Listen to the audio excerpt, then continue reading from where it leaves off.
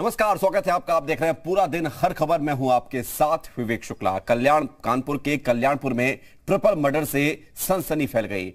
इस घटना में एक युवक ने पत्नी और दो बच्चों को मौत के घाट उतारा है। हत्या के बाद अपने भाई को इसकी सूचना भी दी गई। कल्याणपुर थाना क्षेत्र के डिविनिटी अपार्टमेंट की पूरी घटना है।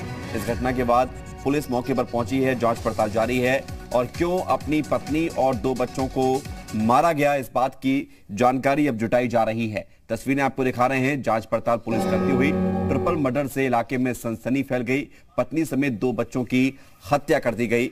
और ये हत्या क्यों की गई है? अब इसकी जानकारी पुलिस ले रही है। श्याम तिवारी हमारे साथ जुड़ रहे हैं इससे। श्याम, क्या वजह सामने आ रही है इस खूखार वारदात की? देखिए आपको बता दें, जो जो हत्यारा पति है, ये खुद डॉक्टर है और एक निजी मेडिकल कॉलेज में पढ़ाता है। और ये बताया जा रहा है कि काफ़ी दिनों से डिप्रेशन का शिकार है और मौके से एक नोट भी बरामद हुआ है जिसमें कोविड फोबिया होने की बात उसमें लिखी है। जिसमें इसमें इसमें लिखा है कि अब कोविड सबको मार डालेगा। ओमिक्रॉन का ज़िक्र करते हुए लिखा है कि अब लाशें नहीं गिनती है। इस नोट में डॉक्टर ने लिखा है कि अपनी लापरवाहियों के चलते उसका मैं आपको रोक रहा हूँ श्याम तिवारी हमारे साथ असीम अरुण साहब जुड़ गए कानपुर पुलिस कमिश्नर। असीम अरुण जी, बहुत स्वागत है आपका जी उत्तर प्रदेश, उत्तराखंड में। ये बड़ी घटना सामने आई है। तीन लोगों की हत्या कर दी गई। क्या जानकारी आप तक पहुँची है, सर?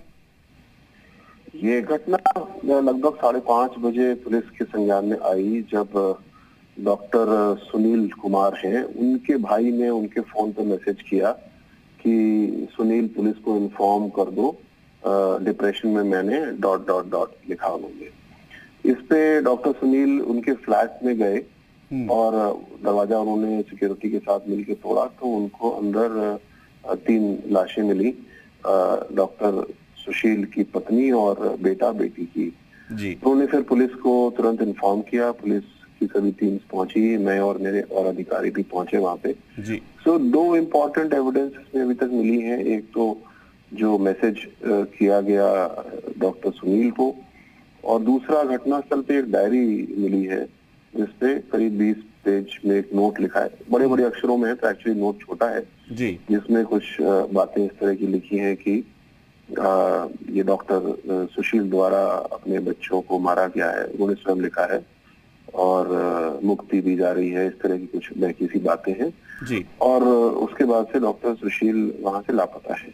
जी। तो जो नॉर्मल इन्वेस्टिगेटिव प्रोसेस है फॉरेंसिक एग्जामिनेशन वगैरह वो तो किया ही जा रहा है। जी। लेकिन बड़ा काम इस समय ये है कि डॉक्टर सुशील को तलाशा जाए और इसके लिए हमने टीम लगा रखी है जी। और उनको तलाश रहे हैं। सर अभी कहाँ तलाश की जा रही है? क्या कानपुर में ही तलाश हो रही है? और दूसरा सवाल ये मेरा इसमें जुड़ा हुआ कि कैसे इस वारदात को अंजाम दिया गया? यानी कि मर्डर कैसे हुआ? अभी तो प्रारंभिक स्टेज इन्वेस्टिगेशन का है लेकिन जो पत्नी की मृत्यु हुई है उनके सिर पे हथौड़े से प्रहार किया गया है और खून निकला हुआ है।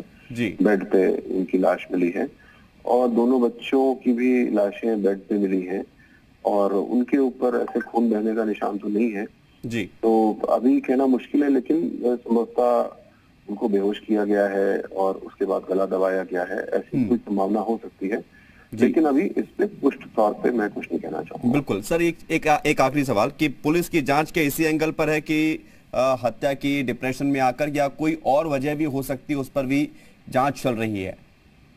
आ, जो अभी तक प्रारंभिक सबूत है मैंने आपसे वो शेयर किया अभी निष्कर्ष नहीं शेयर किया मैंने। जी। और कोई भी अच्छी विवेचना सभी संभावनाओं को निगाह में रख के चलती है ये भी चल रही है। जी। बहुत बहुत शुक्रिया आपका बहुत बहुत धन्यवाद हमारे साथ जुड़ने के लिए।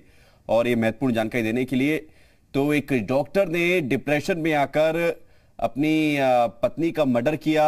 हथौड़े से ऐसी प्रारंभिक जाँच सामने आ रही है, उसकी रिपोर्ट हम आपको बता रहे हैं। और दो बच्चों की भी हत्या की गई है और इस पूरे मामले पर अब पुलिस जाँच पड़ताल कर रही है। आरोपी ने बकायदा इस पूरे घटना को अंजाम देने के बाद अपने डॉक्टर भाई को मैसेज किया और अब तहकीकात जारी, आरोपी फरार है, तलाश की जा रही है।